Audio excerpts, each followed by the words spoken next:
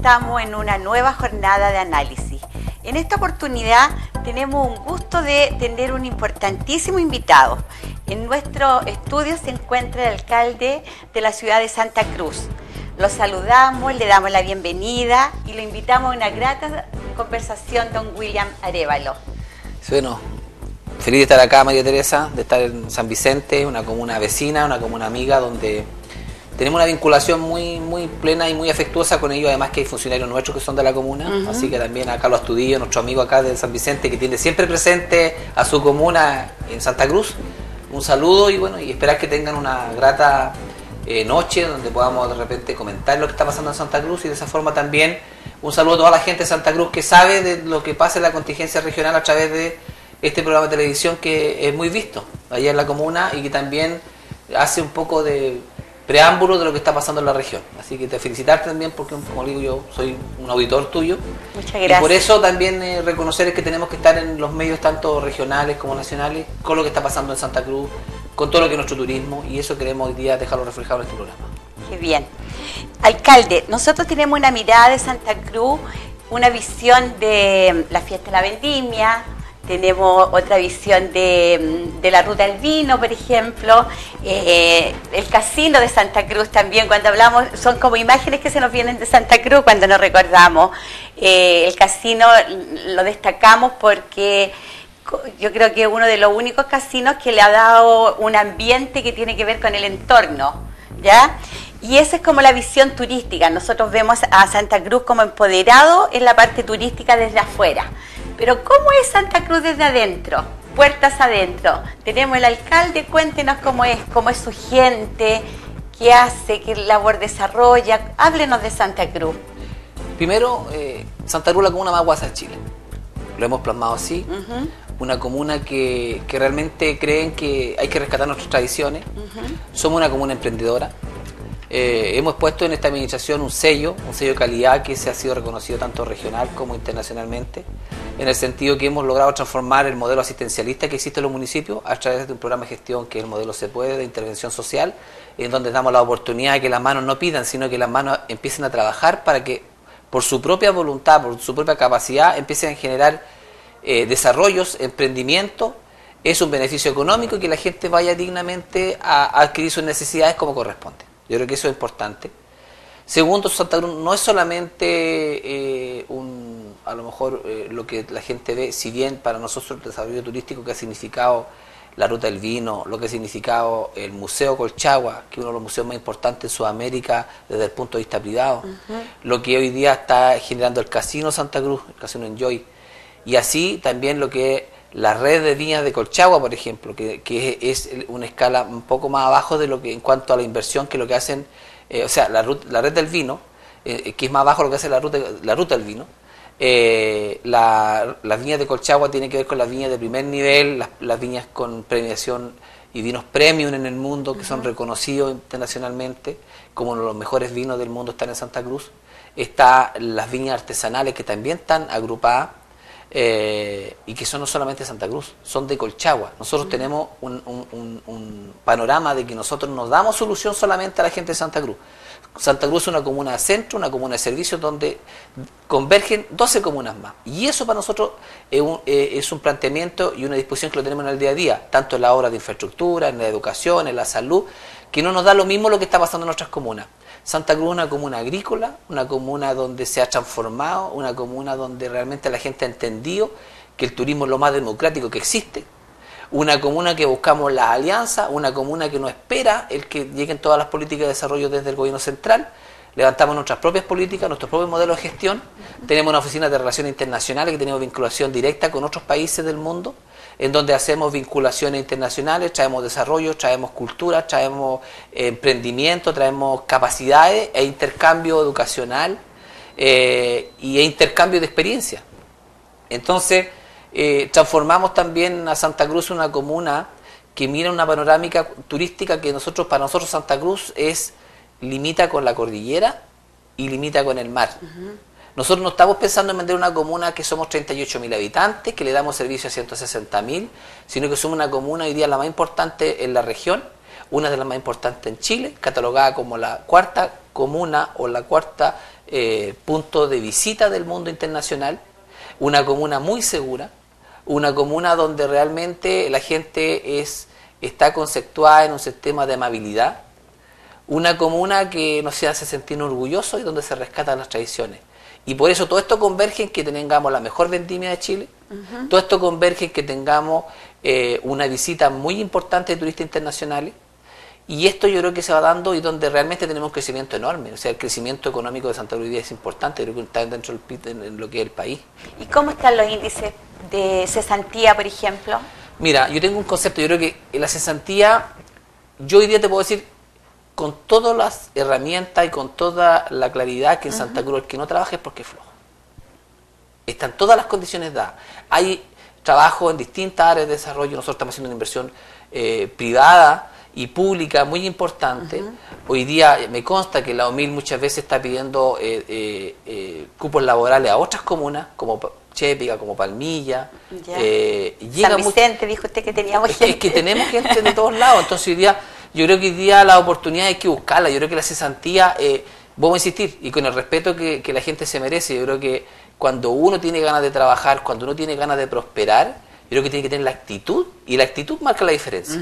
Yo soy uno de los alcaldes que, que vengo de abajo, vengo de, de, tener estudiar con muy pocos recursos, nunca fui a la universidad, hoy día doy seminarios en las universidades, porque tenemos un concepto de que la pobreza es una actitud pasiva y que mucha gente, la, mucha gente confunde eso con la sociedad y la flojera. Y creo que todos los que queremos crecer tenemos que ir a buscar las oportunidades. Las oportunidades están a la vuelta de la esquina, pero hay que ir por el camino correcto, haciendo las cosas bien y nosotros tenemos, hoy día tenemos hoy día nosotros, por ejemplo, una de, las de, las mejores fórmulas. Nosotros tenemos casi a 600 mujeres capacitándose de forma paralela hoy día en la municipalidad. Ha hecho una apuesta muy importante. Mujeres jefas de hogar, muchas de ellas que se han separado, que han tenido problemas, y nosotros decimos, esto tómalo como una oportunidad, nosotros te vamos a capacitar, pon tu energía para que tú demuestres que tú eres capaz de levantarte sola. Y eso marca un parámetro. Cualquier persona que tenga un problema de cesantía hoy día y quiera trabajar, nosotros vamos a decirle, ¿sabes qué? Nosotros vamos a hacer la colocación, llamamos a la OMIL, llamamos a la empresa si se necesita. Ahora, que la persona quiera un trabajo de corbata o quiera un trabajo que, está a un nivel que nosotros no lo podemos alcanzar por el minuto, esa es otra cosa. Porque yo te digo, si yo te digo, yo sé, a mí muchas veces me han dicho, oye, Cali, ¿por qué estás haciendo esto? Y si yo siempre he trabajado, he sido una persona de esfuerzo y si mm. tengo que hoy día volver abajo por mis hijos, voy a trabajar en lo que sea con tal de ganarme los recursos. O sea, no tengo por qué ponerme un, límite o decir, no, si no es con delantal blanco o si no es de acá, no lo voy a hacer. Yo creo que esas son las cosas que nos tienen nosotros como sociedad que cambiar. Las oportunidades están, lo digo anteriormente, a la vuelta de la esquina, las oportunidades en Santa Cruz están, vemos una, demanda, una alta demanda de, de, los servicios en, en, cuanto a lo que son en, en temas de, de la agricultura, cada vez menos gente va a trabajar en la agricultura en Santa Cruz porque ya la gente se ha ido especializando, nosotros tenemos un nivel educacional alto de los otros jóvenes y que eso también les permite tener una panorámica más amplia y también más eh, despegada de lo que es la agricultura. Entonces, por eso es que nosotros dependemos de tanto de la agricultura de las, de las comunas vecinas. Así que en, ese tema, eh, creo que un tema, y aquellas personas que digan lo contrario, pueden ir a la municipalidad y decir, y aquí están las fuentes laborales. Oye, alcalde, ¿y cómo usted, eh, em, digamos, cómo evalúa al final del, digamos, qué conclusiones saca cuando usted, por ejemplo, usa palabras antipolíticas, por decirlo de alguna manera, porque no cualquier político se atreve a decir que la gente es floja, que la gente es sucia, y usted ha tenido como buenos resultados con, digamos, con esa honestidad. Es que yo creo que cuando uno está en terreno, aquí lo, el, primero que nada, yo nunca me he sentido cómodo en mi sillón. Si yo soy alcalde, pero nunca he utilizado ese sillón como un poder.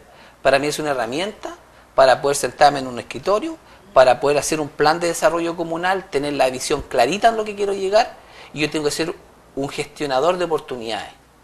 Y cuando yo voy a casas, y, cuando yo hablo de esta de la sociedad y la flojera, no es en lo general. Por eso yo hago con el respeto que se merece, como se dice, al que le caiga el guante, que se lo ponga, ¿cierto? Pero yo, por ejemplo, hemos recorrido no solamente acá, yo tengo, y te lo digo, no como, como que me gusta ser poco autorreferente, pero esto se da no solamente en la comuna, se da en otras partes de, Chile. Y la gente que puede estar escuchando por la televisión le podrá hacer sentido o no, pero cuando voy a México, por ejemplo, y veo la misma actitud, ya es una actitud del ser humano, no es de que solamente de Santa Cruz. ¿En que, ¿Por qué? Porque quien genera esa, esa, esa pasividad en las personas, quien genera muchas veces esa poca visión, es el mismo Estado, porque la gente, el Estado muchas veces ha acostumbrado que todo lo soluciona con bono. Y nosotros entendemos que el bono no es la solución. Eh, ¿qué es lo, ¿Cuál es la solución? Es la oportunidad de generar una capacidad permanente de emprendimiento, de querer apoyar, de querer capacitar. Eh, entregar, como se dice, eh, entregarle la caña y no entregarle el pescado. Pero en el, en el, instante que tú le enseñas a pescar a una persona, tienes que alimentarla, tienes que hacerte cargo de ella. Y ese es un proceso de transición. También estamos haciendo esas políticas de desarrollo. Nosotros iría, por ejemplo, cuando vamos y estamos implementando una política nuestra, comunal, hecha bajo el modelo Se Puede, que es el plan de módulos progresivos, no media agua. En Santa Cruz no se da media agua. En la media agua es lo más indigno que existe hoy día como una vivienda de emergencia. La media agua tiene todo un concepto sociológico que permite sometiendo en un riesgo de salud a las personas que están en la media agua. Entregamos el módulo progresivo. Y eso bajo un modelo de gestión que que antiguamente o a las municipalidades en general en Chile las mediaguas le cuestan recursos propios municipales. A nosotros el módulo no nos cuesta recursos, los bajamos recursos del, gobierno central o gobierno regional. En donde hoy día le entregamos un módulo con las condiciones dignas. Yo no entrego a una persona, por muy humilde que sea, lo que yo no recibiría si estoy en su lugar. Creo que eso es parte de la dignidad, el ponerte en el lugar del otro, el ponerte en el lugar de cómo poder apoyar. Y el módulo progresivo es una vivienda de los mismos metros cuadrados de la media agua, pero habla de la proyección. Yo coloco esto, tú colocas lo otro. Pero nosotros no solamente terminamos el proceso con entregar el módulo o la vivienda, viene todo un plan de capacitación. Porque estas personas que viven en las media aguas muchas veces han vivido por generaciones en ellas y se acostumbraron a vivir de esa forma. Y muchas veces ellos no logran darse cuenta de lo que, que, lo que yo digo de repente, y, y, lo puedo decir con el respeto que se merece la gente, que está en esa situación, que no es toda, el que dice muchas veces en mi oficina, yo quiero que usted me ayude, y quiero que usted me ayude con una planchita de zinc para arreglar mi media agua, que me ayude con madera para forrar mi media agua, interní, todo lo que significa, pero para la media agua. Entonces yo muchas veces le digo la pregunta, ¿usted quiere que yo le ayude realmente? Sí, señor alcalde. ¿Está segura? Sí, señor alcalde. Le vuelvo a repetir, ¿está segura que yo le ayude? Sí. Ya, espéreme, yo no voy a dar la planchecín, yo voy a su casa. Yo quiero ayudarla, pero quiero ayudarla y ver cómo usted vive. Yo normalmente voy después de la hora de trabajo, muchas veces solo con mi equipo, normalmente ando con uno o dos asistentes sociales. Eh, llego, golpeo la media agua y entro y, veo una realidad totalmente distinta. O sea, veo una realidad que muchas veces la pasividad y, y es entendible. O sea, una persona que ya lleva una cantidad de años que está acostumbrada a eso y no le han mostrado otra posibilidad de desarrollo, está viendo lo que tiene. Entonces, muchas veces voy en la mañana, a mediodía, y tratando de decir de repente, golpeé la puerta, buenos días, y paso. Yo voy con, el permiso ya anticipado de que ella mm. quiere que la ayude. Y ¿cuántas personas viven? ¿Dónde duermen? ¿Dónde está la cocina? ¿Dónde está el baño? ¿Dónde están toda la estructura? ¿De qué se alimentan? ¿Cuánto ganan? Toda la información, pero de una forma interventiva no avisando que va el alcalde. Y muchas veces te dice, ¿y esto para usted es pobreza? Y la gente que mirando así, pues, soy muy humilde. No, esto no es pobreza. Tener las, camas no hechas a las 12 del día no es pobreza. No haber barrido la casa a las 12 del día no es pobreza. Tener la ropa toda montenarro en un sillón no es pobreza. Tener los platos sin lavar a las 12 del día no es pobreza. ¿Qué es? Es que andaba, no, no hay argumento.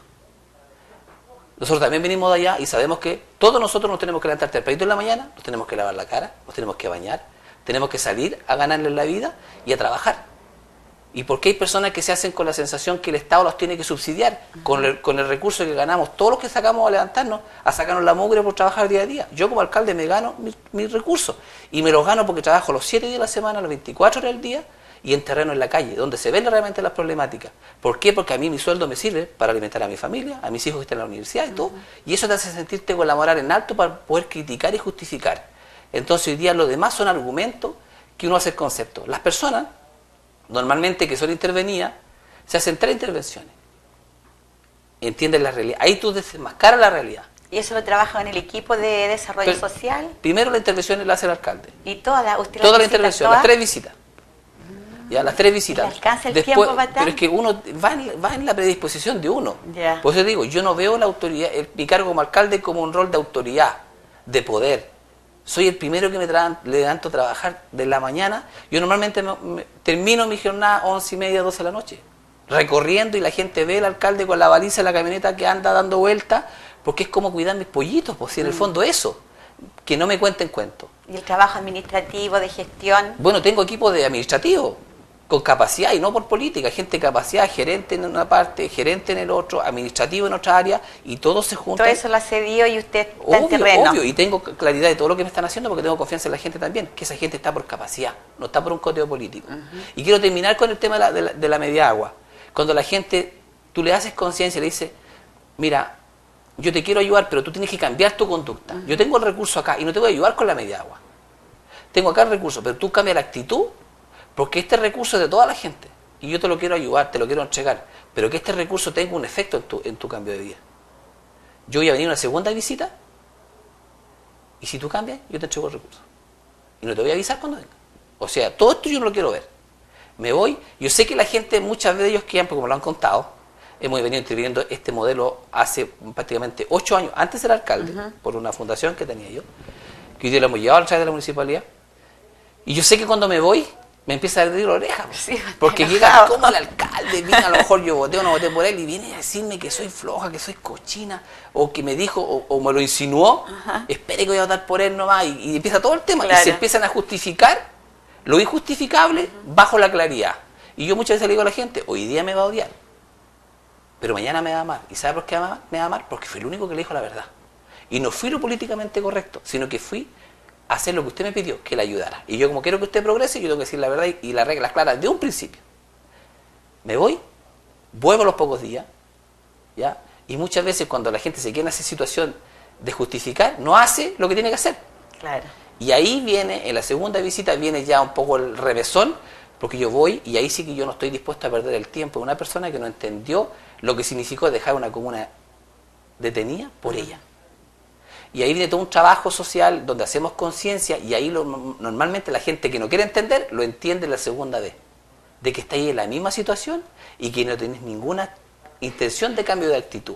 Entonces ahí llegamos y le decimos, mira, tú me diste ayuda a mí, yo estoy preocupado a ti, no tú habiendo estado preocupado a ti misma. Si tú no cambias a la tercera, yo no te voy a ayudar más. Porque no estoy dispuesto a poder generar, a perder mi tiempo intentando lo que tú no quieres ni siquiera tomar la actitud de cambio. Y ahí la gente entiende. La segunda visita como que mayormente ese 20% que no te entiende la primera cuando tú le quieres entregar la ayuda, eh, viene con este modelo y, y hace un cambio de actitud.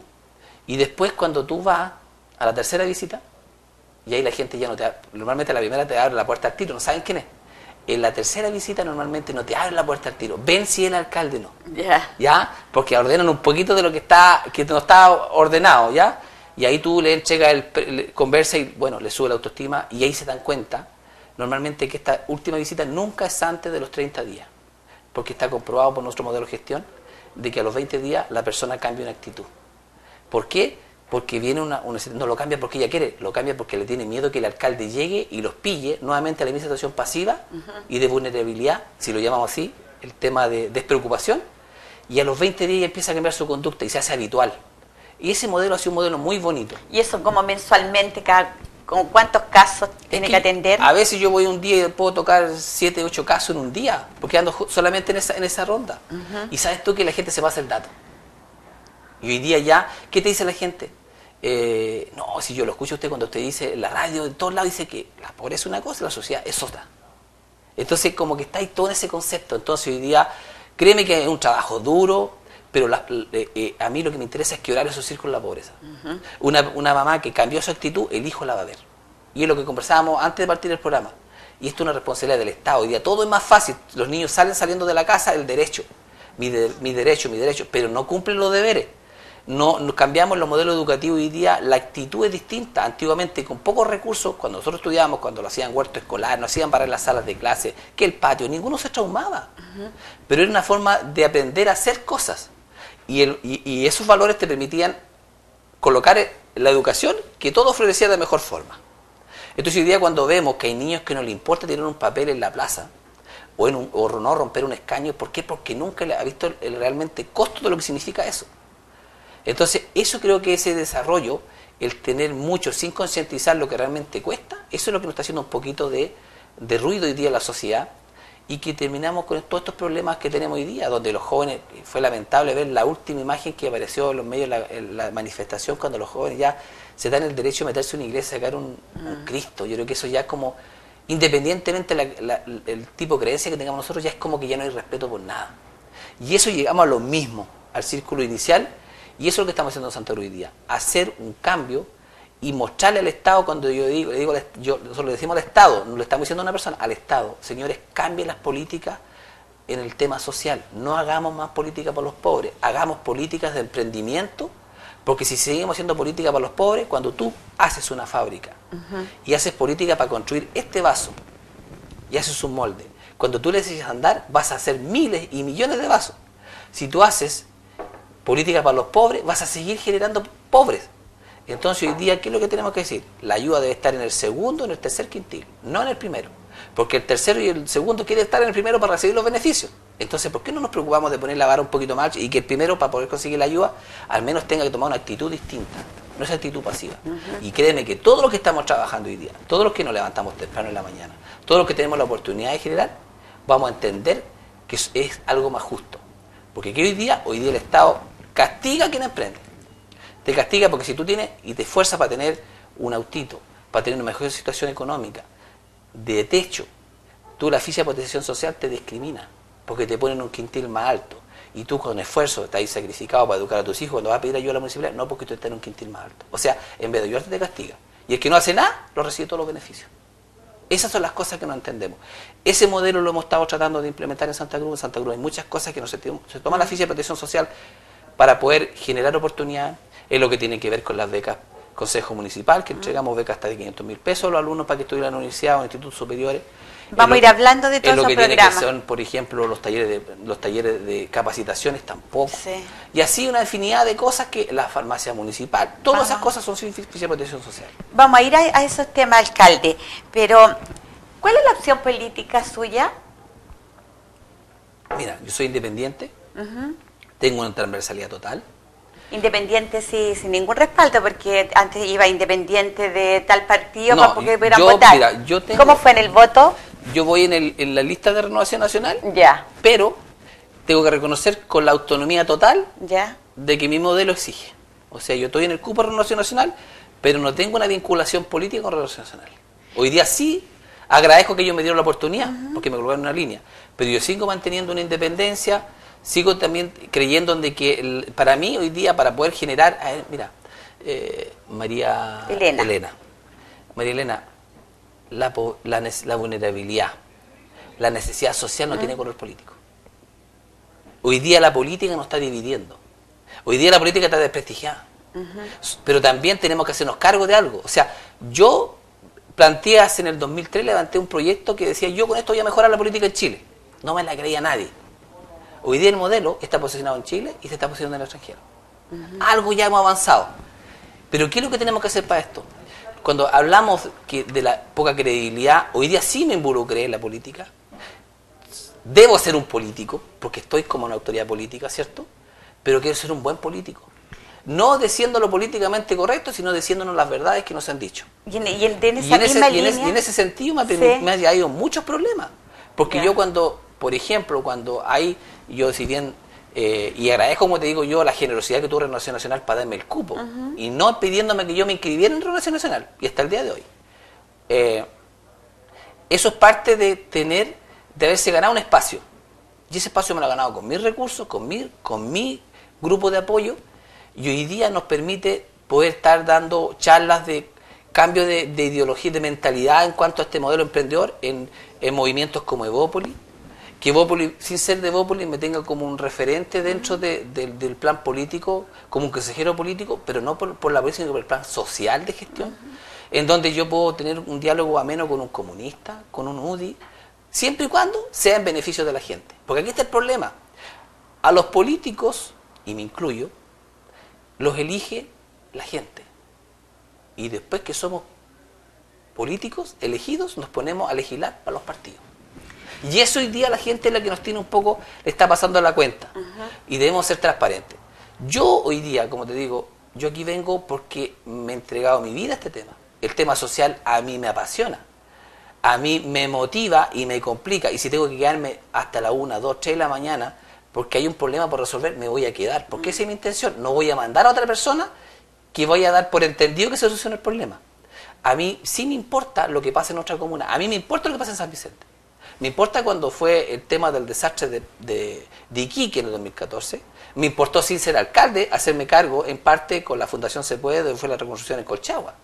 Cuando, con la experiencia y siendo alcalde, el Estado me pide apoyo en Iquique, a través de la empresa privada, voy a Iquique, voy a Alto Hospicio. Y cuando fue este desastre, en Paipote, en Chañaral, hace casi un año, más de un año atrás, en la Semana Santa anterior, que fue una cosa, la mayor calamidad que yo he visto en mi experiencia, eh, no me quedé en mi, en mi, municipalidad. Y la gente me decía muchas veces, la oposición, porque siempre tiene una oposición, ¿qué tiene que estar haciendo el alcalde en el norte si los problemas están acá? No, los problemas en el norte son mucho más grandes de los que tenemos en nuestra comuna y yo no voy a hacerme cargo de otros problemas, voy en representación de mi comuna, de mi gente, que es una gente emprendedora, pero además solidaria, a, a prestar una ayuda con la experiencia que nosotros teníamos. ¿Por qué? Porque esa gente sí la necesitaba. Y sin despreocupar lo que está pasando en Santa Cruz. Porque como te digo, no porque no esté el alcalde, no se dejan de hacer las cosas, porque los equipos administrativos que tenemos sí hacen la pega. Alcalde, y en este mismo análisis que usted hace, en que la gente el respalda a usted por su vocación, por su emprendimiento, y también un poco esto del desprestigio de la política, eh, nosotros vemos que cada día hay más desencanto, menos interés por ir a votar. Y una de las cosas que se observan es que los que tradicionalmente van a votar son gente con, con un ideal partidista, ¿ya? Entonces, usted independiente, eh, aquí en la transparencia para la gente de Santa Cruz que va a ir a votar, eh, usted no tiene ningún partido político, pero ¿cuáles son los principios entonces por los cuales vota la gente cuando vota por usted? ¿Cuáles son sus principios? Hoy día, hoy día en, en, en política, en el caso de los alcaldes, eh, gracias a Dios no ha llegado tanto el nivel de, de, de, efectos de corrupción que existe a nivel lo que se ha destapado en el último tiempo, que a todo esto siempre ha existido, uh -huh. lo que pasa es que hoy día salió a la luz pública, ¿cierto? Eh, y creo que es una gran responsabilidad de los políticos hoy día. Según yo, mi manera humilde, yo creo que todos los políticos que están hoy día en política deberían pasar al lado y deberían darle entrar a la gente joven, que viene con principios que un poco más descontaminado. Uh -huh.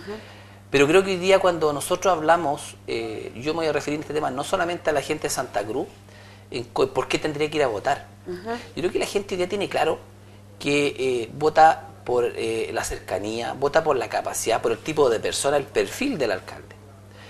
Pero yo creo que aquí, y hago un llamado no solamente a, a toda la gente que nos está escuchando, aquí lo que nosotros necesitamos es hacernos cargo de algo. Si la política hoy día en Chile no puede seguir como está, y eso no es responsabilidad de los políticos, es responsabilidad de quienes eligen los políticos. Si uno, no, yo cuando eh, hice mi campaña anterior, yo venía desde afuera, yo nunca fui concejal. Yo pasé y tuvo una tremenda votación. Y tengo un 70% de la votación. Y transversalidad de, total. Y, quiero... y, dentro de ese análisis, por ejemplo, usted ha sacado la conclusión, porque venía de un alcalde que tenía como varios periodos. Cuatro, tres, tres continuos y después un cuarto descontinuo, cuatro periodos. Ya, y también cuánto de ese voto de descontento tuvo usted. Mira, siempre puede haber un voto descontento, ya. pero creo que el voto descontento con un voto voluntario no habría ido a votar. Uh -huh. Porque el voto descontento estaba descontento con, con, con, la autoridad, con el sistema, ¿cierto? Pero estaban enganchados con su propuesta. Yo, ¿Por qué? Porque yo, yo primero, primero no le prometí nada a nadie. Ya. ¿Qué promete usted? Nada. Solamente vengo a trabajar. Soy una persona de trabajo, de esfuerzo, y he hecho esto sin ser alcalde. Y muchas obras, no solamente en Santa Cruz. Y tenía ya un liderazgo. Si en Chile no hace falta más políticos, hace uh -huh. falta más líderes. ¿Qué es la diferencia? Entonces hoy día cuando y logramos llegar a equipos de personas de todos los sectores políticos. En mi equipo hay gente desde la extrema izquierda hasta la extrema derecha. Y mucho independiente, porque hoy día el independiente ya tomó un, un, un ribete mayor. Entonces hoy día cuando toca, tocamos el 70%, nosotros tuvimos un efecto en donde, ¿qué lo dijimos? Queremos estar en terreno, queremos ser transparentes, mirar a la gente a la cara, ser cercano a la gente, que no un alcalde tenéis que estar endiosado ahí arriba, ah. donde inalcanzable, sino que para mí, cuando la gente dice alcalde, ¿cómo podemos Vamos hablando al tiro nomás. ¿Para qué vamos a esperar una oficina? ¿Qué quieres? Y hoy día con las redes sociales tú mandas, o sea, mandas un WhatsApp y lo, lo, lo, deriva al funcionario que corresponde y se hace cargo del problema. Y tú lo puedes controlar ese tema. Entonces, entendiendo que la cercanía que tenemos que tener con los niños. A ver, o sea, decirle yo fui igual que ustedes, estuve sentado en esos sillones, no llegué a la universidad, no se acaba el mundo educacional si no llega a la universidad, uh -huh. este es tener una voluntad. Pónganse sueños grandes porque los sueños grandes vale la pena correrlos. Seamos transparentes, tengamos valores, tengamos principios. Entonces, bajo ese, esa identidad, cuando estábamos pidiendo un voto, eh, era, eh, ¿tú creí la política? No, no creo en la política. ¿Y voy a ir a votar? No. ¿Y por qué no voy a ir a votar? Es que no quiero la política, no creo. Yo tampoco. Pero si tú no haces nada, eres cómplice de lo que está pasando. Tú no puedes dejar a otro que decidan por ti. Y es lo que está pasando hoy día, María Teresa. El, el 30% de los chilenos cree y vota, se, se, suma a los eventos políticos. ¿Y tú crees que es bueno que el 30% elija, elija una autoridad, sea alcalde, sea presidente de la República, y que el 70% se margine? Yo creo que esa responsabilidad que tenemos, que ese 70%, esa gente que no cree en la política, sea, mira, sea en Santa Cruz, sea en San Vicente, sea en Rancagua, en cualquier parte de Chile que nos estén escuchando hoy día, que estos canales salen a nivel mundial por, por las redes sociales. Yo, como alcalde, como William Arevalo, lo personal, que me involucraron en esto, le digo un mensaje: vayan a votar. Aunque el voto sea voluntario, vayan a votar y sean parte de decidir lo que quieren para su comuna, lo que quieren para su país. Si no lo hacen, van a ser cómplices del sistema. Los jóvenes que hoy día están en posibilidad de votación, tenemos que tener un concepto de responsabilidad social en lo que significa elegir a nuestras autoridades, sea la autoridad que sea, alcalde, diputado, presidente de la República. ¿Por qué? Porque las políticas que yo desarrollo hoy día, los que van a tener efecto van a ser sus hijos en el futuro. En educación, en salud, en espacio, en equipamiento, en todos los aspectos. Entonces hoy día no podemos dejar de darle la vuelta la espalda al país o a la comuna por restarnos. Te voy a decir, hoy día eso, esos que se restan son los que son responsables de tener esto. Yo te digo, o sea, yo siempre que digo, yo en mi afán, porque soy una persona que va directo al sueño, voy directo al efecto, no me quedo mucho en el papel. Tengo harto que solucionar los problemas administrativos, a mí me interesa dar la solución, ser parte de la solución, no del problema. Muchas veces uno está afán de poder crear proyectos, como los módulos progresivos el megaparque que queremos construir día. ¿Cómo queremos ver a Santa Cruz en los próximos 30, 40, 50 años? Yo parto y voy al, proyecto, al propósito. En el camino puedo pasar a llevar a alguien, por mi afán de solucionar el problema. Si veo que lo paso a llevar y cometí algún error, me devuelvo a pedirle disculpas. No tengo ningún problema en pedirle disculpas, pero no fue intencional eso y lo más quedamos lo más amigos posible en este tema. Pero lo que, que, la gente entienda que es por el bien superior de la comuna. Y eso es lo que hoy día no se da. Porque hoy día muchas veces por el poder tú puedes hacer algo muy así, muy directo, muy autoritario. Que muchas veces los alcaldes, sí, yo en mi comuna, por ejemplo, cuando tomamos el plan de ordenar el comercio ambulante, no podíamos tener un, Santa Cruz como tú lo conoces, un Santa Cruz que tiene una cantidad enorme de turistas, que pasamos de ser 38.000 a 160.000 en el día, las veredas con un metro de espacio que pasaran hoy día, hoy día. Yo dije, eso tiene que ordenarse. ¿Y cómo lo y ordenamos, Porque una entrevista y lo solucionamos. Eh, pasamos de tener la gente tapada con un nylon. Hoy día le dimos un espacio en pleno centro de la ciudad, al lado del terminal de buses. Se, se bajó un proyecto a través de la Corfo, aporte de ellos, aporte del Estado Hoy día tienen sus costos preciosos, están ubicados, nadie los molesta y hoy día estamos haciendo con el Consejo Municipal una inversión de alrededor de 95 millones de pesos en lo que es este chumbre para consolidarse un bulevar. Hoy día lo sacamos del nylon y hoy día le vamos a dar un local comercial por ningún costo para ellos. Partirá una primera etapa, vendrá una segunda, entonces hoy día, yo sé además, yo le digo a ellos, yo sé que no soy santo de su devoción, o sea, yo sé que eh, tengo una mirada en contra de mi, de mi función, lo que no logró hacer ningún alcalde para atrás pero créame que nunca fue la mala intención. Hoy día yo le estoy dando una posibilidad que usted o algún familiar llegue con una llave, abra la cortina de un kiosco y usted no tenga que andar con el carro para todos lados. O sea, tenemos que ser parte porque hay gente que no logra ver a dónde tenemos que llevarlo. El nylon no nos va a llevar a nada. Hoy ya tenemos vereda amplia, tenemos seguridad, cámaras de seguridad que le resguardan a ellos. Entonces, eso es un poco lo que se está dando. Y a la gente, se, yo siempre digo, se le olvida cómo partimos. Por ejemplo, nosotros cuando estábamos en la municipalidad, llegamos los primeros meses y a la municipalidad le cortaba la luz todos los meses. ¿Por qué? Porque no había poder de pago. La, finanza estaba muy mal en el municipio. Hoy día somos una de las comunas que bajó sin ni siquiera, solamente por contratar a expertos en el tema, logramos bajar en los primeros meses el 30% del consumo. Tenemos nuestras cuentas al día. Hoy día MLA nos tuvo que devolver recursos de todo lo que nos habían sobre precio cobrado años atrás. ¿Por qué? Porque esa persona que está haciendo el seguimiento de la energía es un experto en energía, no es un político o que llegó por un coteo político. es una persona que va a hacer la pega. Y si hace la pega bien, sigue, y si hace la pega mal, se buscará otro. Entonces, esas posibilidades son las que se están dando y cómo podemos lograr tener una administración comunal que nos permita llevar a Santa Cruz, como te digo, proyectar al futuro. Una comuna que yo la quiero colocar en el sitial de las comunas en Chile. Esa es mi función.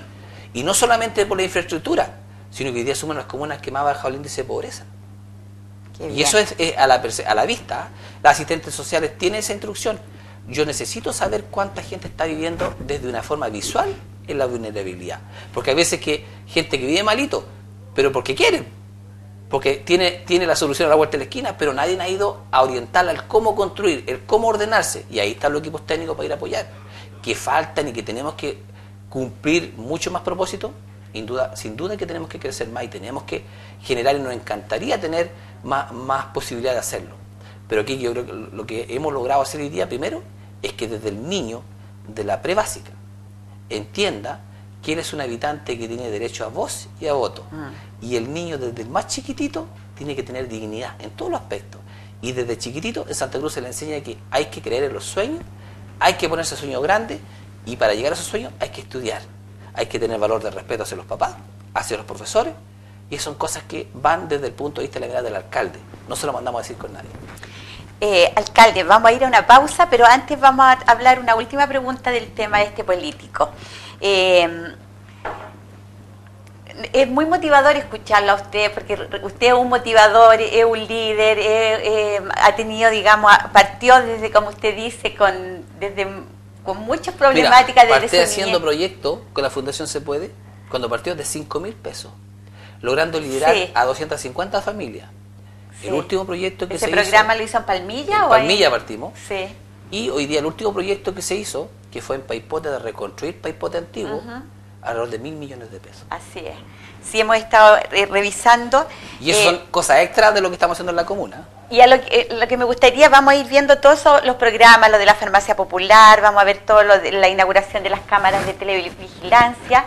Pero antes de eso, terminando un poco con este análisis, eh, en su campaña anterior, eh, digamos, lo que le fortaleció es lo que usted nos cuenta hoy día, toda su capacidad de emprendimiento, todo cómo fue surgiendo, cómo fue quemando etapas de su historia desde su niñez hasta llegar, sin siquiera ser concejal, llegar a ser al tiro alcalde con esta amplia votación. Entonces, en ese momento usted no era un político. Hoy día, después de todo este tiempo de trabajo, ya es un político. Entonces, ¿Qué es lo que tiene usted de político hoy día? El cuero duro. ya. De político el cuero duro. Ya. Porque aquí te llegan porque das y porque no das. Gente malintencionada que...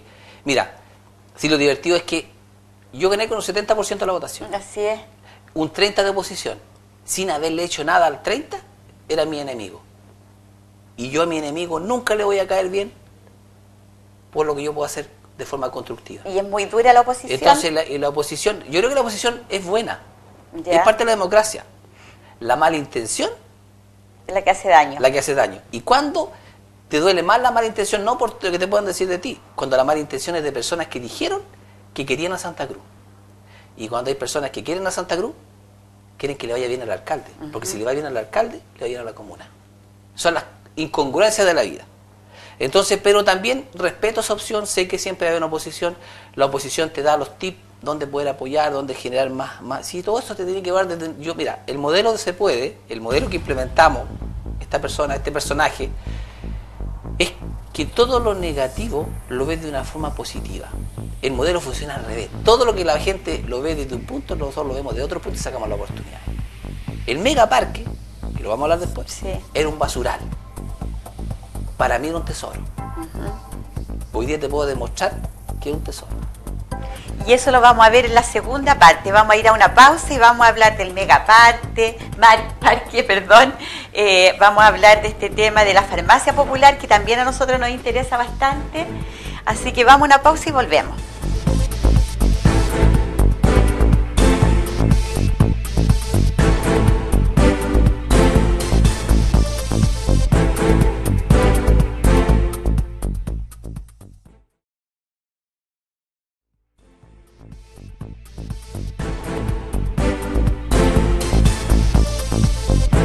Estamos de vuelta. Vamos a conocer cómo está el quehacer de nuestro alcalde, eh, don William Arevalo, en la ciudad de Santa Cruz.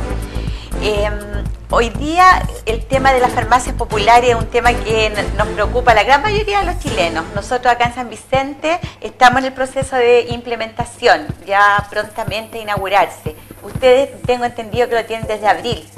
Sí, bueno, nosotros partimos de principio de año ya con el plan Pudimos ¿Inaugurar en abril? Ah, inauguramos en abril, pero pudimos haber inaugurado en enero, en febrero. Pero quisimos hacer algo distinto. La Municipalidad de Santa Cruz tiene una metodología única en Chile que hoy día se está replicando por otras municipalidades. Y si sirve de algo de esto también, eh, ¿por qué no? Porque si se beneficia a la gente, eh, bienvenido sea que podamos dar este, este, este esta sugerencia, que sea eh, sin eh, validación de la ficha de protección social como por el grupo etario o, por el quintil, validando el puntaje, sino que nosotros solamente utilizamos la ficha de protección social como un instrumento que permita ver si la persona vive o no vive en Santa Cruz. ¿ya? Pero la, farmacia municipal de Santa Cruz está abierta eh, o puede adquirir un medicamento de la, la familia más humilde hasta la familia más poderosa.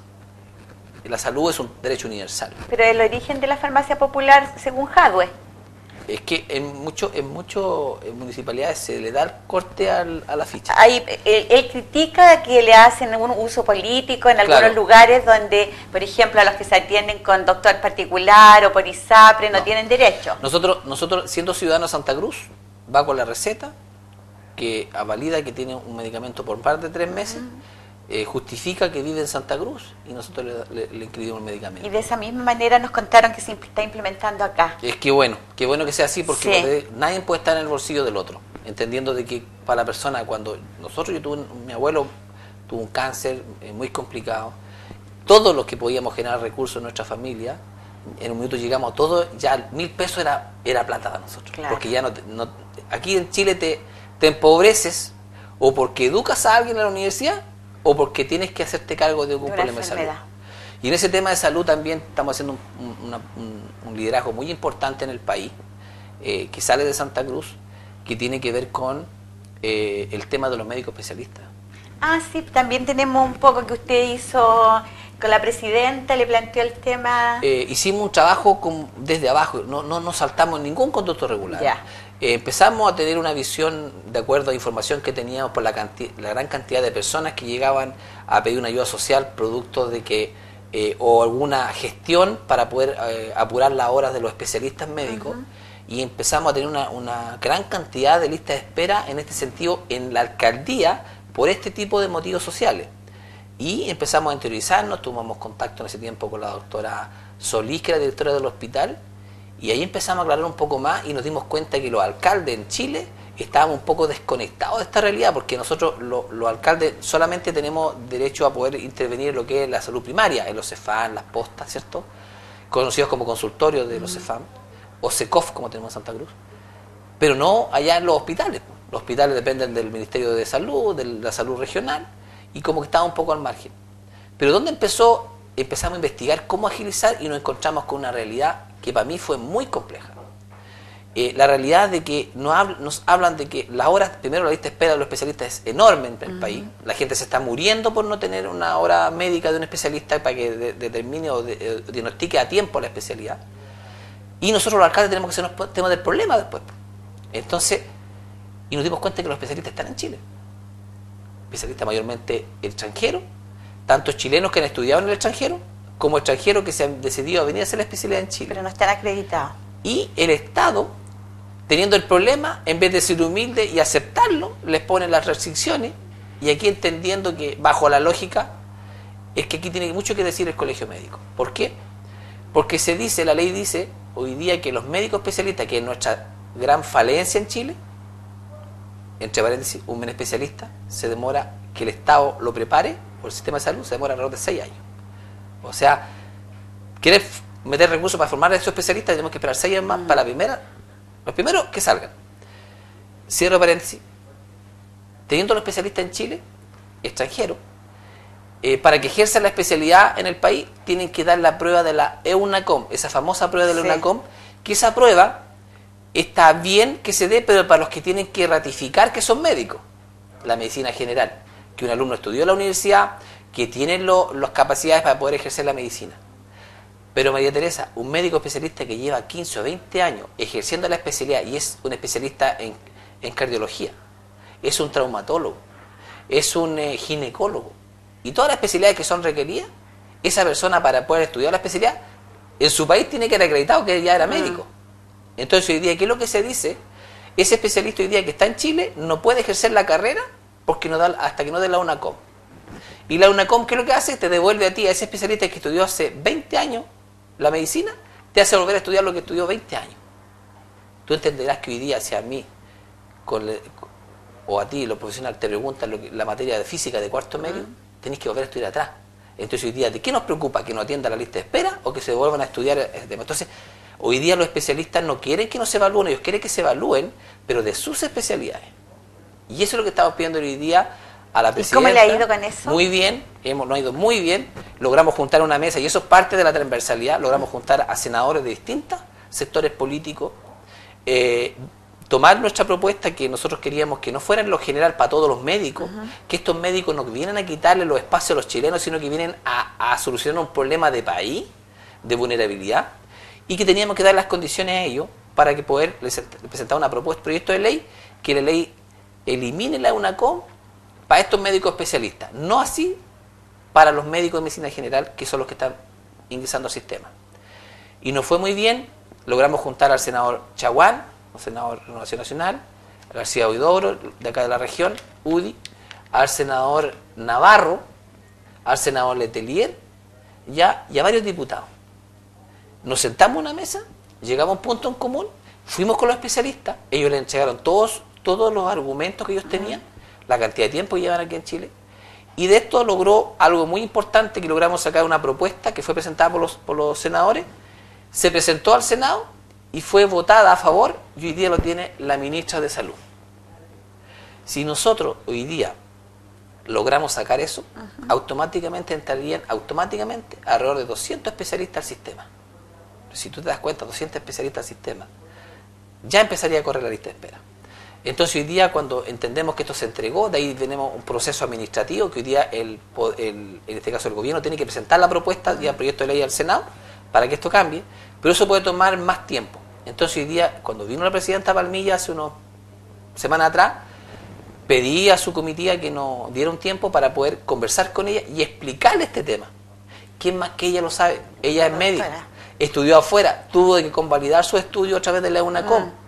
Pero ahí es donde dijo, además que el colegio médico dio respuesta a que ellos estaban de acuerdo que esto se eliminara para los médicos especialistas. Pero ¿qué te dice? El colegio médico dice una cosa para afuera pero internamente dice otra. las presiones eh, del colegio médico hacia la, autoridad política son muchas.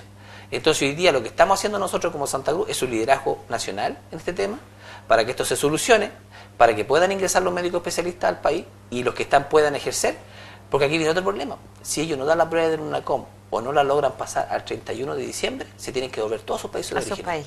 O sea, ahí perderíamos no solamente los 200, sino que todos estos que quieran llegar acá van a tener que hacer todo un proceso de nuevo. Entonces hoy día estamos esperando una segunda reunión con la presidenta para poder realmente ya hacer presión como corresponde, porque realmente aquí esto a mí no me da lo mismo, te lo voy a decir, lo que pasó en la catástrofe, que lo que está pasando con la gente, porque la gente se está muriendo. Mira, ah. cuando fue el terremoto 2010, hubieron 500 muertos producto del terremoto y del riesgo sanitario que existía. Por esos 500 médicos se levantó una ley donde se le permitió a los médicos especialistas ingresar a Chile y apoyar en catástrofe. Hoy día son miles los que se han muerto producto de no tener una solución médica. Y ojo, los que se han muerto y, la familia, si tuve una persona que está decadencia de salud, te enferma la familia, se enferma el bolsillo, se enferma todo. O sea, el, análisis general que da esto es muy potente. Así que esperamos que nos vaya bien y hoy día estamos dispuestos a poner un recurso de protección en contra del, del Estado para que yo dé una respuesta más ágil de este tema. Que no nos quedemos sin médico de aquí a diciembre. Es, como te digo, o sea, si no hago algo, que ya nos interiorizamos del tema y ya hemos ido aprendiendo mucho de la materia, hoy día termino siendo cómplice, porque hoy día, hoy día ya sé cómo es el sistema, ya me he estudiado el tema, me he hecho asesorar por equipo, por persona, y hoy día hemos tenido también, incluso el otro día tuvimos un llamado del exministro de Salud Mañalis, que supo del tema, validó mucho la situación, y que nos presentó otro tema que es más grave. Los médicos, cuando eh, en la administración anterior del gobierno de Piñera, eh, ellos hicieron algo para que se generaran más médicos. Ellos le pidieron al sistema, le dieron beca, claro, de 100 millones de pesos a médicos para que se especializaran, con el compromiso que cuando se especialicen tienen que estar una cantidad de tiempo en el sistema. Y si no, tienen que pagar las multas, que eran multas muy altas, para que los, los permitiera. Esa ley hoy día se eliminó. Por lo cual, todos aquellos médicos especialistas, la gran mayoría que se especializaron, hoy día no volvieron al sistema de salud, fueron al mundo privado. Y ahí bajó más todavía el problema, se aumentó más el problema todavía. Entonces hoy día esas cosas la gente del común no las sabe, no sabe ese tema. Hoy día, por ejemplo, estamos viendo, estamos enfocados en una ley que yo creo que es justo hacerla, la ley del rotulado, la ley de, del, Ministerio de Salud con respecto a los alimentos, ¿cierto? Que es bueno que lo hagamos. Pero no, nos, no saquemos el foco de lo, que, de, de lo que tenemos hoy día en la contingencia. ¿Qué le decimos a esa gente que está esperando años para operarse de una cadera? Que tú ves mucha gente aquí en San Vicente, en Santa Cruz, con un bastón que llega a dar pena muchas veces verlo porque tiene un problema en la rodilla, la cadera, y que no te pueden operar porque tiene que pasar los 65 años y la persona tiene 40, 45. Y pasaste de tener una receta de un medicamento que se hubiese dado a un especialista en el minuto de 100 mil pesos, pasaste a tener que operarte con una receta con una, de una clínica privada de 7 y 14 millones de pesos. Y a ese, esa persona no llega con ese presupuesto al alcalde. ¿Qué hacemos nosotros? Entonces, ese es un poco lo que, lo que te da ese, ese entusiasmo de querer hacer. Créeme que le vamos, le vamos, estoy segurísimo que nos va a dar resultados. Y cuando nosotros lo escuchamos con tanto entusiasmo, usted participa también dentro de ese Consejo Nacional de Alcaldes, ¿no? Y ahí no, no digamos, expone estas problemáticas que... Es que no es mi tema, o sea, eso es el tema, los que tienen que dar la resolución no están ni ahí. Yo llegué desde otra mirada con la mirada de la gente, no de la mirada de la autoridad.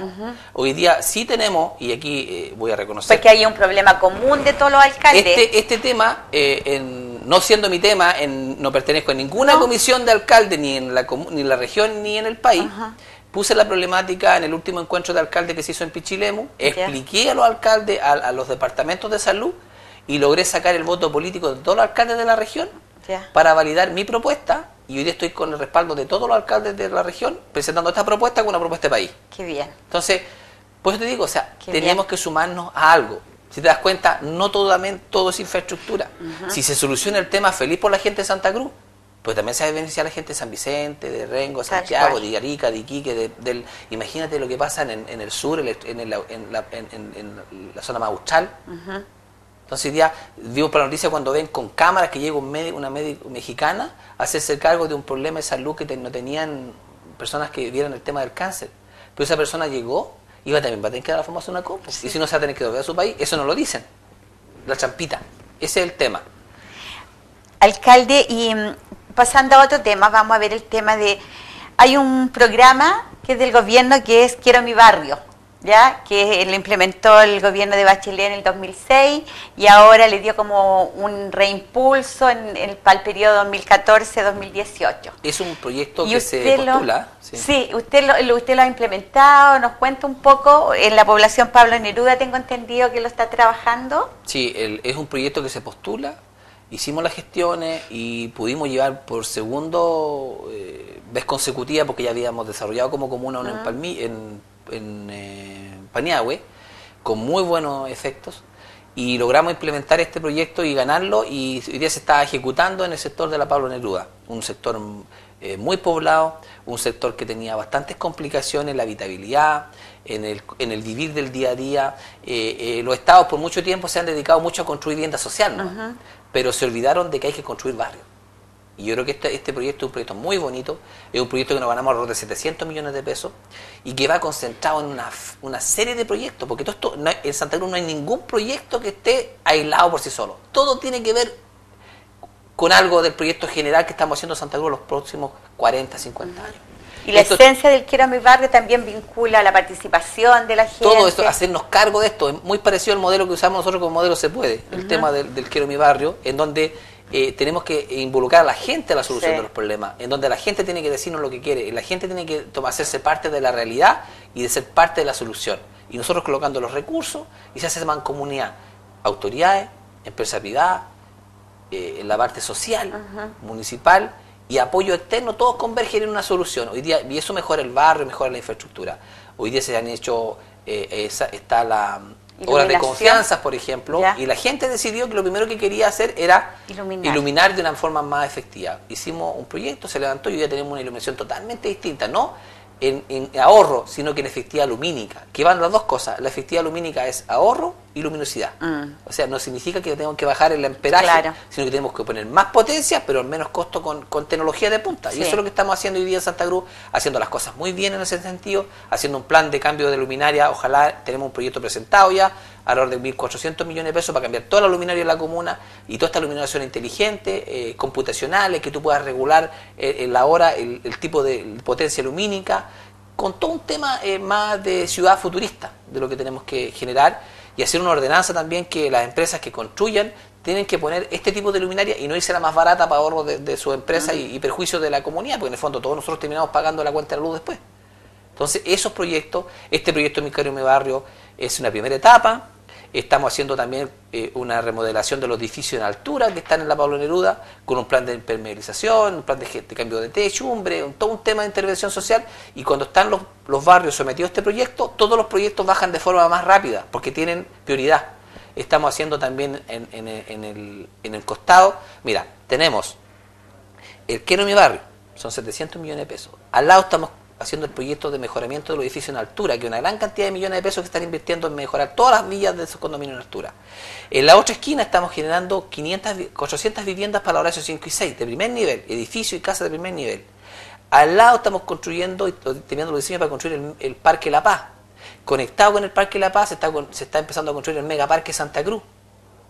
Al, al, otro costado se están invirtiendo mil millones de pesos para urbanizar todo el barrio de lo que es Paniagua Oriente, con el proyecto eh, PMB eh, eh, implementamos el puente de luz, el único puente de luz en Chile que es plan turístico. Logramos vincular la zona más eh, vulnerable con, Santa Cruz Centro, que se sentían como un poco aislados, hoy día se vincularon y eso es un plan turístico que da, invito a la gente a ir un día a Santa Cruz la noche a ver el espectáculo que se da en el puente de luz, donde realmente logramos hacer un foco detonante de atracción turística que nos va a permitir posesionar todo el megaparque, que son 40 hectáreas que están hoy día consolidadas, y empezándose a ejecutar donde vamos a tener estadios, Eso del megaparque, cuéntenos todo Es un proyecto, pero es un sueño que cuando lo dije por un año me trataron de loco. O sea, Oiga, ¿y usted para cuándo piensa implementar eso? Eso parte ya, ya partió. ¿Y de aquí a que termine su periodo? No, o sea, estamos hablando de que este parque, este proyecto, estamos hablando, te voy a decir, hay proyectos en lo mediano, en lo inmediato, mediano y largo plazo. Este es un proyecto que vamos a partir eh, eh, consolidando, ya estamos haciendo las rutas, todo el tema eh, vamos a invertir en lo pronto alrededor de 180, 200 millones de pesos en infraestructura a través de proyectos del gobierno. Mm. Ya está haciendo una empresa estadounidense que ha hecho proyectos en Dubái, Las Vegas, está haciendo todo el master plan del, proyecto. Y como esa ansiedad de querer ya partir, mm. eh, estamos empezando nosotros con recursos propios y algunos del Estado, estamos empezando a, crecer. Y yo creo que ese proyecto, bueno, es un proyecto... ¿Y qué garantía de continuidad tiene cuando ya usted no sea alcalde? Es bueno que es un proyecto es un proyecto para la comuna no es un proyecto para mí. Es un proyecto que tiene que tener sustentabilidad también. Y hay compromiso de la comunidad frente a eso o sea es una es una necesidad es un parque regional no es un parque comunal. Pero hay otro parque que, que se está haciendo con, con, platas de gobierno que es el parque La Paz que se dice. Que se incorpora a este también pero que aún no este, no han podido terminar no no porque ¿Cuánto tiempo los lleva eso ya. Y ahí no pudimos intervenir porque está, está sometido a diseño. Ya. Y es un proyecto del Servio ya este es un proyecto comunal por lo cual hoy día yo te digo, he ido, no decir miles, pero cientos empresarios. Ninguno se ha arrestado. Alcalde, díganos dónde nosotros lo apoyamos. Para el megaparque. Para el megaparque. Y vamos a hacer un plan de forestación con los habitantes de la comuna de Santa Cruz, donde yo te invitarte a ti María, anda con tu hijo, ahí está tu árbol, plántalo. Y tú en el futuro te vas a decir, ese árbol lo planté con mi mamá, con mi papá, con mi familia. Fuimos parte de construir este parque. Si mira, si aquí no hay que tener plata, hay que tener ganas, hay que tener visión y hay que tener transparencia para poder conjugar todos los actores y decirle, señor, yo tengo la solución, usted tiene recursos, yo tengo la necesidad. Mm. Cuando se conjugan todas esas las cosas, pero con reglas claras. Oye, alcalde, y usted nos contaba hace poco de, de lo que aprendió, lo que ha, lo ha hecho un poco político, esto de tener el cuero duro, ¿verdad? Eh, usted tuvo un problema, una problemática bastante eh, seria con unos contratistas de áreas verdes, en la cual ellos establecieron una demanda a la municipalidad por no cumplimiento de contrato. Y al final, ¿en qué quedó eso? Yo creo que sería bueno que lo compartieran cómo va o en qué terminó. Bueno, eh, es normal que los municipios eh, tengan este tipo de conflicto con los proveedores, ¿cierto? Porque algunos quieren entender lo inentendible y arman su entendimiento a conveniencia de las partes. En Santa Cruz se hicieron cosas mal, como también se hicieron cosas bien. pero una de las cosas que la ley te prohíbe hacer tratos directos. Y sobre todo cuando son tratos directos por miles de millones de pesos, ¿ya? Cuando son licitaciones, concesiones. Y cuando fue el terremoto... Y esa licitación, disculpe, usted la heredó. La heredamos. Y esa licitación se tuvo que regularizar, porque si yo no tomo medidas, soy cómplice del, del, error administrativo que estaba. Y se eh, hicieron las consultas a los jurídicos, los jurídicos dijeron que sí teníamos que licitar por un tema de transparencia. Se hizo la licitación, en donde la empresa participó, la que tenía también la, la, concesión. A ellos se les avisó. Ellos tienen unas personas que son los supervisores, quienes supervisan el trabajo y quienes tienen que hacer el seguimiento y quienes notifican. Esa, eso se realizó. Y ellos participan en la licitación, en la primera licitación. Y tú cuando participas en una licitación es porque por ende te das por enterado de que tu contrato terminó. Claro. Es lógica, ¿cierto? Y bajo esa lógica, ellos después cuando se adjudica y ven que ellos no se ganaron la licitación, presentan una demanda como por una irregularidad dentro del tema. Y entendiendo que nosotros, por eso te digo, yo no soy experto en todo, pero tenemos buenos asesores, y los asesores nosotros dijeron, hay que seguir el procedimiento porque esto va en, torno a lo que la ley dice. Y por ende, bueno, fue muy bullado el tema, por todos los medios sacaron, lo pusieron una demanda de más de mil millones de pesos en contra de la municipalidad, eh, fueron sesiones de consejo muy complicadas porque eran todo este cruce de informaciones. Eh, y hoy día hicimos el proceso y nuestro jurídico, Ojar Contreras con Rodrigo Molina, que son Santa Cruzanos, jóvenes Santa Cruzanos, excelentes abogados, eh, hoy día le dieron la razón a la comuna y después de declaraciones, de, comparendo, los tribunales determinaron que no había lugar porque nuestros jurídicos presentaron un error de cinco pruebas que justificaban de que esa demanda era de forma irregular. La demanda no, no, era viable, ¿cierto? Y, y eh, los tribunales se quedaron con solamente una y con esa eh, no le dieron lugar a la demanda planteada por el señor Ramírez. Eh, y en este tema todavía tenemos un tema resuelto. Hoy día seguramente van a apelar, como es normal pero tenemos mucha confianza en nuestro abogado ah. y ya lo que dijo la Corte, porque realmente para nosotros es importante es lo que está diciendo la, autoridad, en este caso, quien corresponde que diga las verdades. Nosotros no hemos abstenido de decir declaración y todo el tema porque no somos nosotros los que vamos a decir, es la Corte Suprema o los entes correspondientes, la autonomía funcionan. Entonces, funcionan para ambos lados. Así que en ese sentido estamos muy tranquilos y confiando en lo que estamos haciendo en la comuna.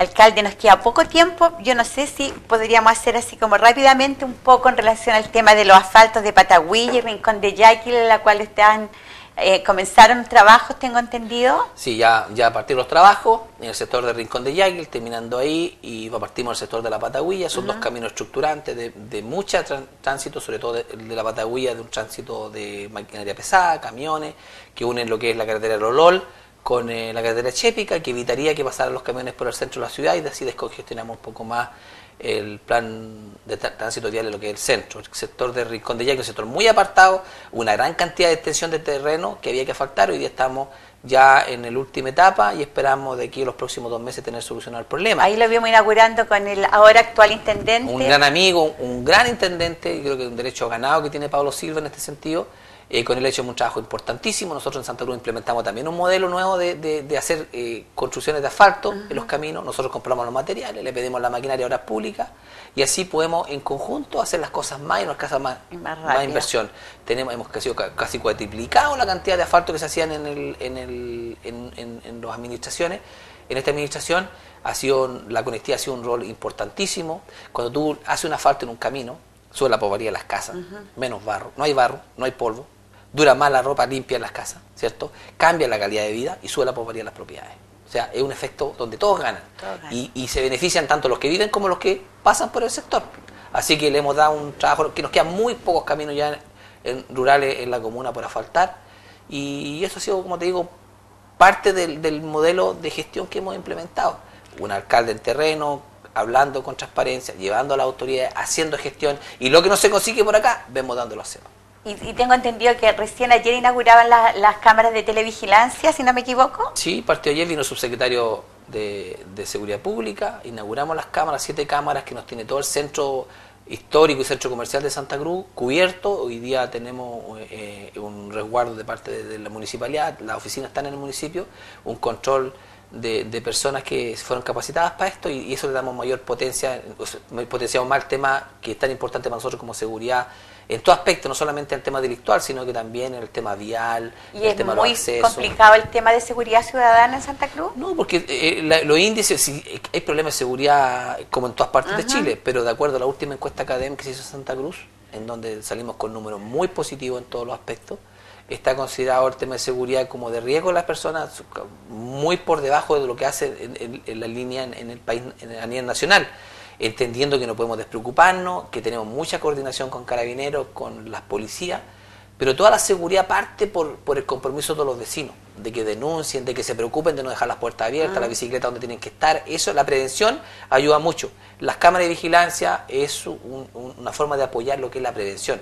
También tenemos esto, estas cámaras tienen un resguardo por una cierta cantidad de tiempo, todo lo que pasa en la ciudad y puede servir como medio de prueba también para la fiscalía, los tribunales, para cualquier procedimiento también jurídico. Así que un muy buen proyecto y, bueno, nos tiene muy contentos y estamos postulando un segundo proyecto para, para, ir creciendo hacia las poblaciones. También queremos poner el programa de vigilancia en las poblaciones. Y no me puedo despedir de usted, alcalde, eh, sin dejar de mencionar eh, que la entrevista anterior fue como muy motivador, fue eh, escuchar todo el tema que usted tiene con la Fundación Se Puede.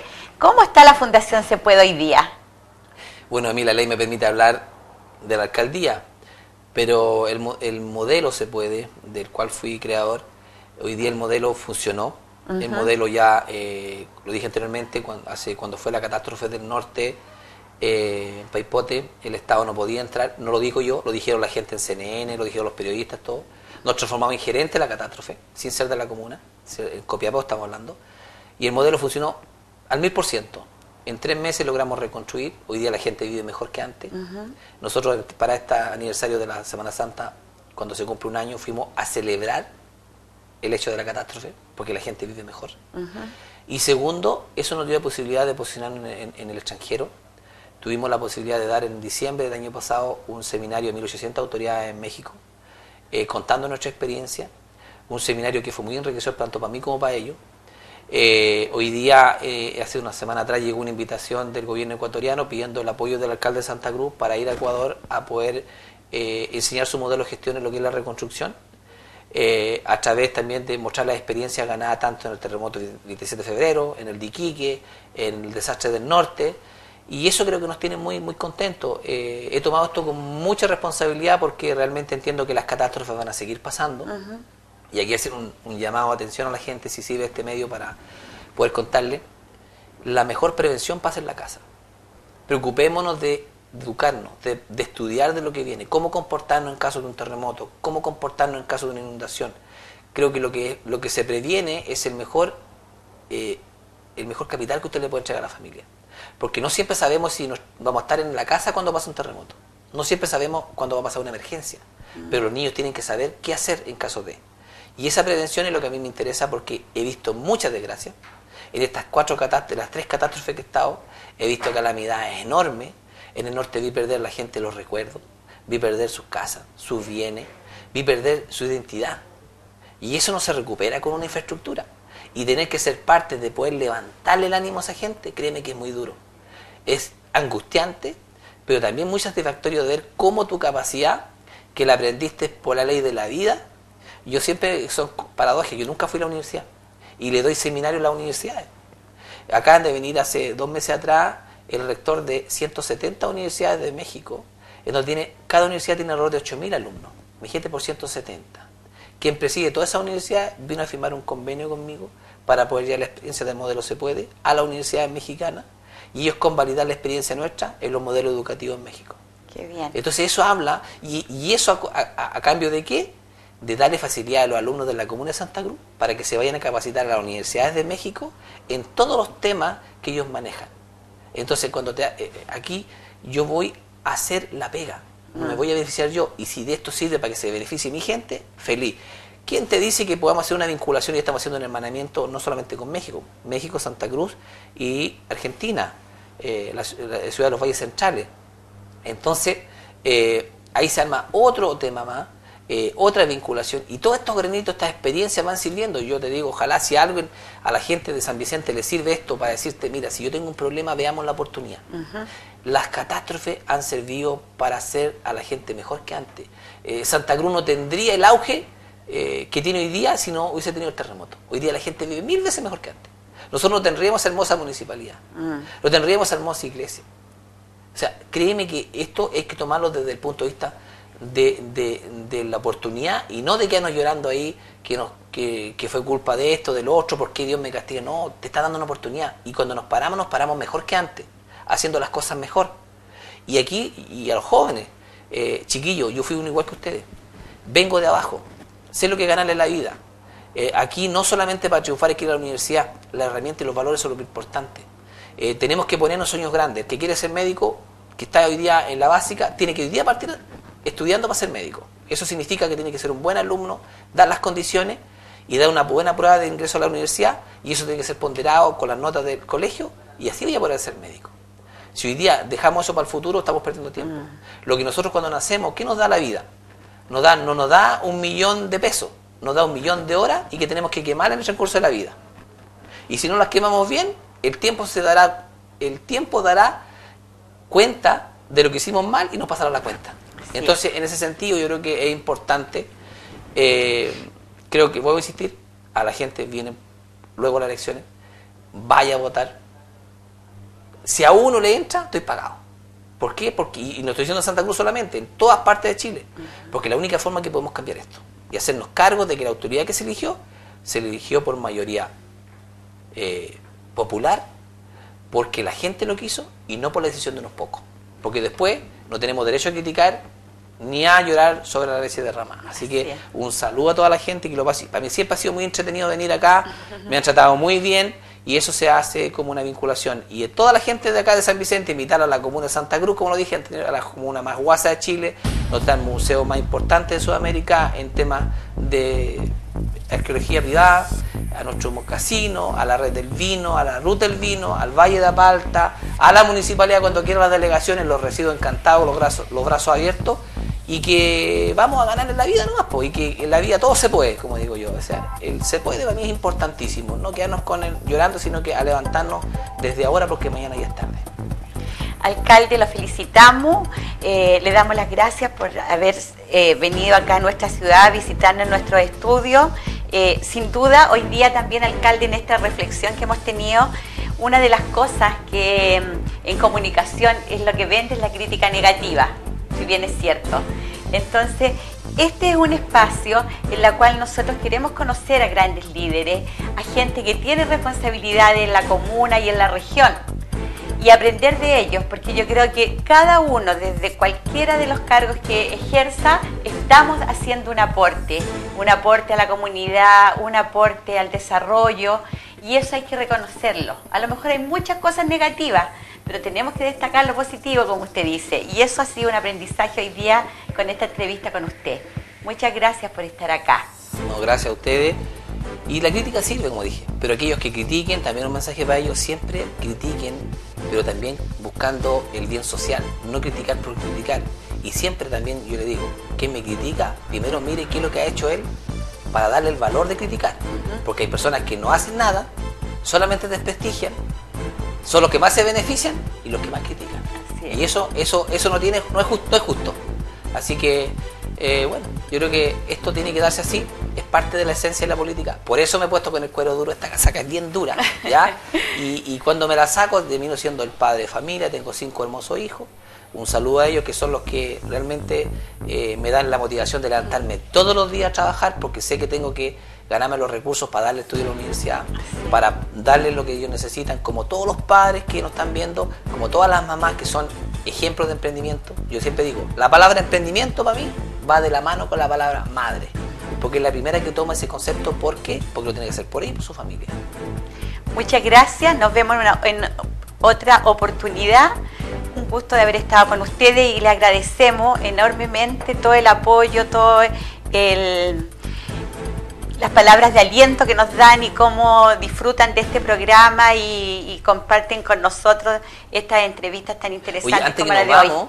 Sí. voy a dejar una invitación a haz en tu programa un concurso con la gente que te llama e invítalo al Museo Santa Cruz. Yo me encargo de recibirlo. Para que lo puedan ver, un hermoso museo, y yo me comprometo con las entradas para que ustedes lo tengan. ¿ah? Bueno, así vamos a acoger la invitación. Muchas gracias, nos vemos, muy buenas noches.